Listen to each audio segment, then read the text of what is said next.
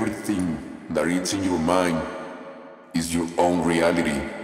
Believe it. We have a dragon.